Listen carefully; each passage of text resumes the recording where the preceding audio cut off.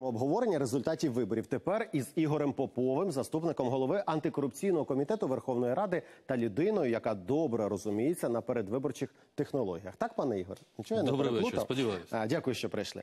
Як вам контури нової Верховної Ради? Можливі, можливі контури? Чи можна вже говорити, буде вона ефективною, не буде вона ефективною? Ну, вона буде ефектною, це однозначно. Тобто там дуже багато буде людей, які можуть ефектно себе повести, можливо, десь щось розумне сказати, а можливо, щось дуже оригінальне, або якось повести себе оригінально. Але формування коаліції буде дуже непростим. Це ми вже бачимо, незалежно від того, чи вона буде е, однопартійна, і тоді вона ледве-ледве досягатиме 226 чи дво, чи трьохпартійна. І цей коаліційний процес, звичайно, я сподіваюся, буде висвітлювати, тому що якщо вибори пройшли на хайпі, на емоції, то треба, щоб хоча б коаліційний процес це вже на рацію, і нам коаліціянти показували, куди вони вестимуть країну, що вони робитимуть з війною, що вони робитимуть з газом, з тарифами, з усіми тими питаннями, яким має займатися уряд.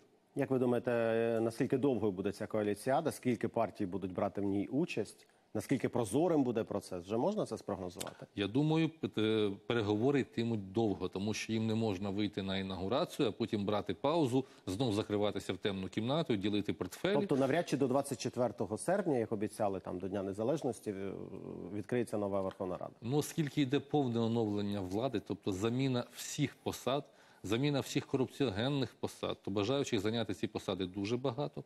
І навіть в самій е, фракції Слуги народу всередині є куча міні-фракцій. Кожна з них претендуватиме на певний шматочок пирога, як ми це бачили в відомому серіалі. І тому я думаю, переговори затягнуться, будуть ділити портфелі і посади. Так про які корупціогенні посади може йтися, якщо нам обіцяють навпаки посилити боротьбу з корупцією? Ви в це вірите чи ні?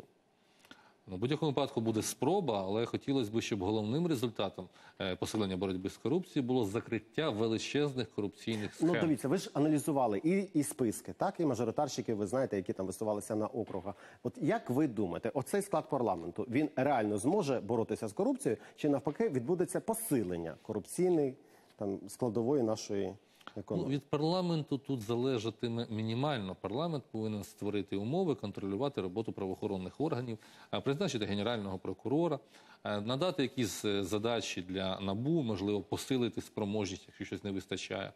Але найбільше залежить від президента. Президент уже два місяці при посаді, і тому треба звичайно боротися з корупцією не на рівні там якогось маленького лісгоспу, як це робиться, а все-таки всі розуміють, куди стікалися кошти. І якщо це закрити, це побачить вся країна одразу. Добре, набу та САП, ви про набу згадали. Ви вірите в те, що воно вони ці органи запрацюють так, як суспільство очікує? Ну я буквально недавно говорив з директором НАБУ е, і нагадав, що їм же президент дав три місяці. І знову ж таки, я сподіваюся, ці три місяці будуть для того, щоб закрити корупційні макросхеми, а не порушити якісь провадження проти політичних опонентів чи попередників. Це звичайно теж важливо. Треба, щоб е, була е, наказана і минула корупція, але треба зупиняти сьогоднішню. Ну а добре, якщо про попередників говорити, то який ваш прогноз для них?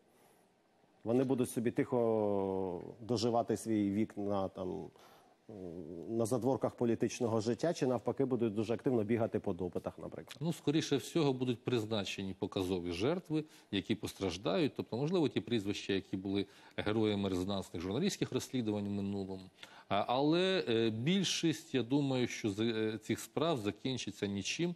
Так само, як і 5 років тому. Тобто багато шуму, а потім чи то непрофесійно спрацювали ті, хто ганялися, а чи дуже професійно відкупилися ті, хто тікали. Ну подивимось, тому що суспільство вже давно прекрасно розуміє, чому розсипаються там карні справи, наприклад, так а По яких на прес-конференціях заявляють, що є беззаперечні Гучно. докази просто Та не то, що мільярдів а, а пригадайте арешти під час засідань кабінету міністрів, наприклад. Звезення вертольотами. Вертольотні виїзди так за, за, за підозрюваними. Добре, подивимося, як все це буде. Дякую вам, як завжди, за конструктивну та цікаву розмову. Ігор Попов, заступник голови антикорупційного комітету Верховної Ради, відповідав на мої питання.